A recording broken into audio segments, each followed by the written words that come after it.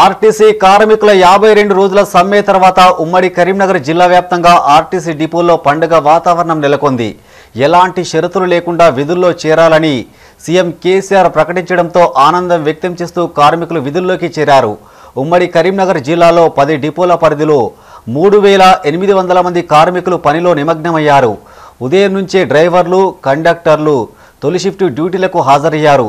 ప్రభుత్వ నిర్ణయం పట్ల హర్షం వ్యక్తం చేస్తూ సీఎం కేసీఆర్కు కార్మికులు కృతజ్ఞతలు తెలిపారు. ఉమ్మడి కరీంనగర్ జిల్లా వ్యాప్తంగా ఉన్న ఆర్టీసీ డిపోల్లో పండుగ వాతావరణం నెలకొంది. సీఎం కేసీఆర్ ఎలాంటి షరతులు లేకుండా కార్మికులను విధుల్లో చేరాలని చెప్పడంతో ఆర్టీసీ కార్మికులు విధుల్లో చేరారు. రాజన్న సిరిసిల్ల జిల్లా ఆర్టీసీ బస్ డిపో వద్ద కార్మికుల సందడి నెలకొంది. ముఖ్యమంత్రి కేసీఆర్ చేసిన ప్రకటనతో విధుల్లోకి చేరేందుకు పెద్ద ఎత్తున డిపోకు తరలివచ్చారు.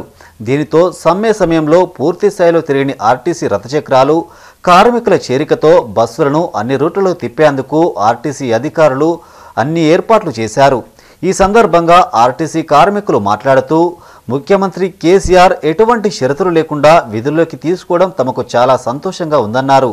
మునుముందు తమ సమస్యలను పూర్తి స్థాయిలో పరిష్కరిస్తాడనే నమ్మకం తమకు ఉందని ఆశాభావం వ్యక్తం చేశారు.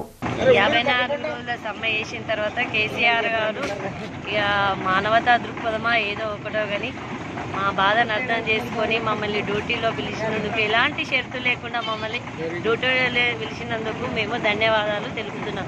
ఇంకా ముందైనా మమ్మల్ని మంచిగా కన్న బిడ్డల్లాగా అన్నాడు కదా మాకు అన్ని బెనిఫిట్స్ వర్తించేటట్టు మాకు అన్ని చేస్తారని మేము కేసీఆర్ని కోరుతున్నాము. రోజుల నుంచి చేసి తలపెట్టిన సమ్మెకు మరియు అన్ని వర్గాలు అన్ని మా కార్మిక సోదరుల నుంచి సుప్రజల నుంచి అందరూ ఈ యొక్క సమ్మెను విజయవంతం చేసినందుకు వాళ్ళకు పేరు పేరున ముఖ్యంగా మహిళా కండక్టర్లు వాళ్ళకు పేరు పేరున ధన్యవాదాలు తెలుపుతున్నాం.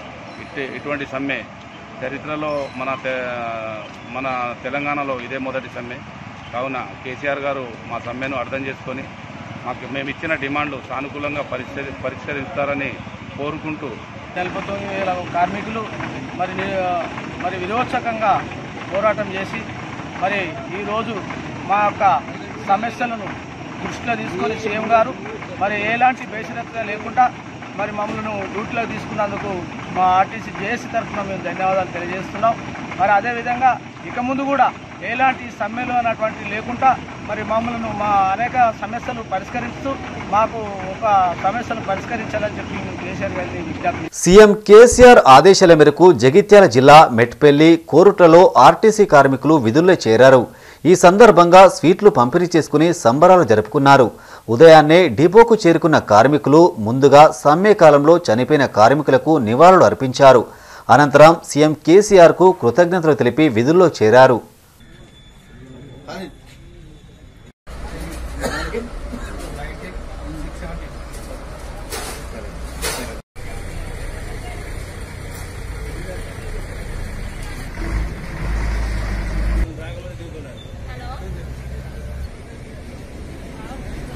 జగిత్యాల జిల్లా కేంద్రంలోని ఆర్టీసీ బస్ డిపోలో ఐదు వందల నలభై నాలుగు మంది కార్మికులు విధుల్లో చేరారు.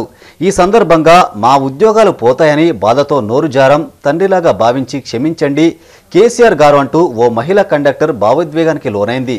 సీఎం కేసీఆర్ తమను గుర్తించి విధుల్లోకి తీసుకోవడం ఆనందంగా ఉందని పలువురు కార్మికులు తెలిపారు. గతంలో లాగా ఆర్టీసీని మళ్ళీ లాభాలతో ముందుకు నడిపిస్తామన్నారు. రాబోయే సమ్మక్క సారక్క జాతరతో డిపోను లాభాల్లోకి తీసుకెళ్తామని చెప్పారు.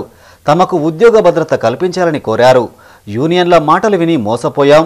మాకు యూనియన్లు వద్దు. ఇక మీరు ఏది చెబితే అలా సారు అని అన్నారు. సార్ గారికి మమ్ములను నవ్వేటట్టు చేసిరు సారు. మేము అనేరా భావించకుండా తెలిసి తెలియక ఉద్యోగం లేదన్న భయంలా మాటలు అన్నాం కానీ సార్ మమ్మల్ని క్షమించాలి.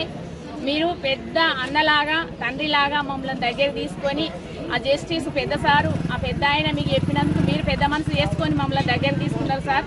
మాకు ఏ యూనియన్లు కానీ ఏది కూడా వద్దు సార్. మీ మాట తప్పకుండా శిరస వహించి మంచిగా కృషి చేస్తాం సార్. డబ్బులు బాగా తీసుకొస్తాం సార్. మేము ఇప్పుడు వచ్చే సమ్మక్క సారక్కలో డబల్ ధమాకా లాగా మేము బాగా డబ్బులు తెచ్చి మంచిగా పేరు తెచ్చుకుంటాం సార్ మీరు కూడా మా మీద ఎప్పుడు కన్ను పెట్టాలి సార్ యూనియన్లు కాదు సార్ మీరు మమ్మలకు ఉద్యోగ భద్రత ఒకటి కల్పించాలి సార్ మాకు ఉద్యోగ భద్రత గురించే సార్ మేము యూనియన్లకు కట్టుబడ్డాం సార్. మాకు ఉద్యోగ భద్రత ఉన్నదానికోసం మేము ఏ యూనియన్ ఎంతసేపు సార్ ఒక మాకు తండ్రి లాగా మేము క్షేమంగా డ్యూటీలు చేసుకుంటాము మాకు ఏ యూనియన్లు కానీ రోడ్డు మీద పడి బిచ్చగాళ్ళం చేసిరు కాదు బిచ్చగాళ్ళం చేసింది సార్ మీరు మాత్రం మాకు తండ్రి లాగా దగ్గర తీసుకొని పెద్ద మనసు వేసుకొని మా పిల్లలను మమ్మలను క్షేమంగా నవ్వేటట్టు చేసిండ్రు. నా బిడ్డ ఇలా తాతయ్య నా పెళ్ళికి రావాలని చెప్పింది సార్ మీకు.